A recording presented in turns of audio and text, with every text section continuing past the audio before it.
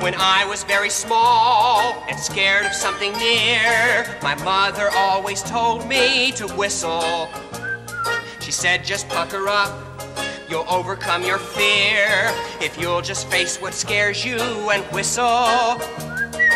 I never listened to what she said to do. It makes no sense to whistle when you're frightened through and through.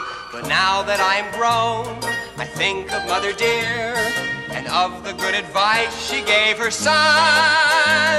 And each time something scares me, I just look it in the eye and whistle.